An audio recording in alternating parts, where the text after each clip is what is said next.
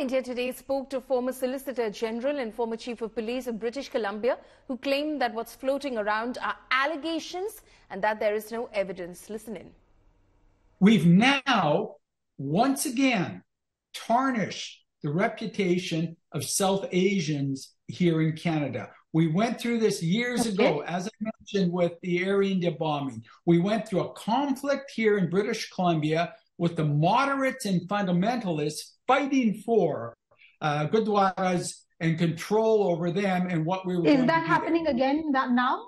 Is that happening again now? Seen, we haven't seen it so far, but I remember being actively involved in trying to ensure that there's peace and harmony within our community. And this, you know, may raise itself again. I hope not.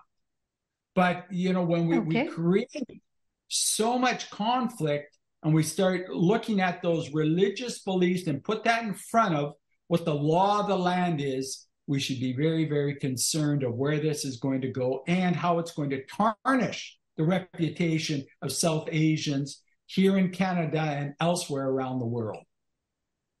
So, just one last question. You mentioned that uh, the, the, with regard to the investigation itself, just uh, a last comment from you as a former police chief and solicitor general.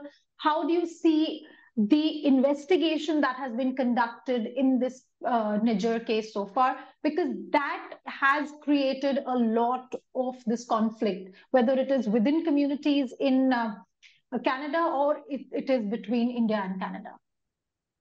Well, let me tell you, the law enforcement officers that are investigating this will do their work. They will come up with uh, the evidence they need, hopefully, to lead to charges against some of the individuals involved. If we're talking about a larger conspiracy, it may take some time to do that. But I have confidence in our law enforcement officers that they will do what they're sworn to do uh, in their communities and respecting the laws here in Canada. I don't have as much confidence in our political bodies. Now, amid the ongoing diplomatic war between Canada and India, the United States has said India Canada tensions are concerning.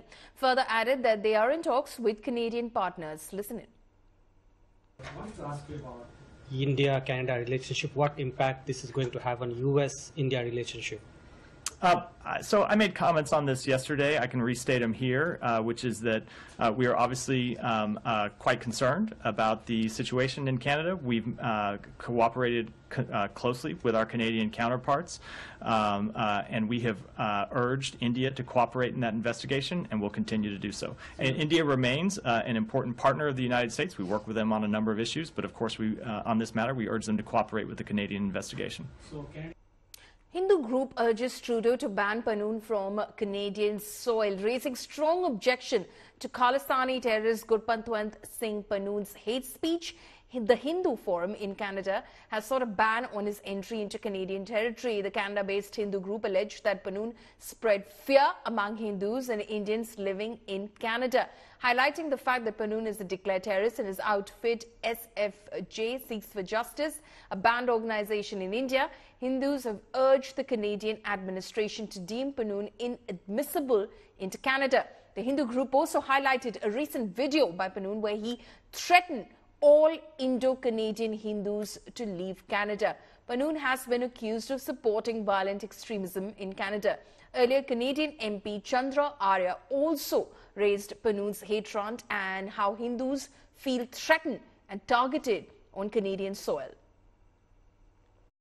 The Hindu Forum has asked, uh, taken the step of sending a legal no, uh, letter to the Ministry of Immigration, pointing out what Gurpatwant Singh Pannu has said and its impact on the Indo-Canadian community in general. What is happening within the communities? Is there are we really seeing a rift between the Sikhs and the Hindus in Canada? Um, I don't think there's there's a on, on a broader scale there is a rift between the the common um, Hindu and a Sikh um, within Canada.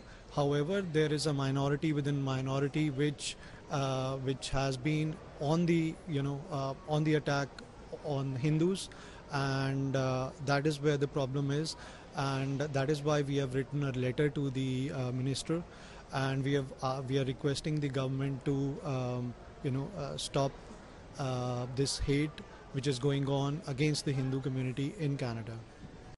Few days back, Khalistan movement leader in Canada and president of Sikhs for Justice, which organizes the so-called referendum, Gurpatwant Singh Pannun, attacked Hindu Canadians, asking us to leave Canada and go back to India.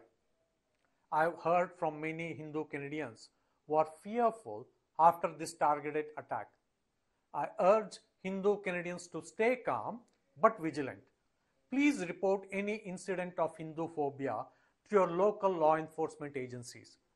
The Khalistan movement leader is trying to provoke Hindu Canadians to react and divide the Hindu and Sikh communities in Canada.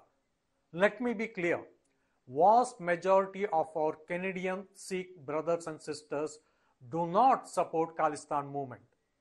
Most Sikh Canadians may not publicly condemn the Khalistan movement for several reasons, but they are deeply connected to the Hindu Canadian community. Canadian Hindus and Sikhs are connected through family relationships and shared social and cultural ties. This direct attack on Hindu Canadians by the leader of Canadian Khalistan movement is further escalation of the recent attacks on Hindu temples and public celebration of the assassination of Hindu Prime Minister Indira Gandhi by terrorists.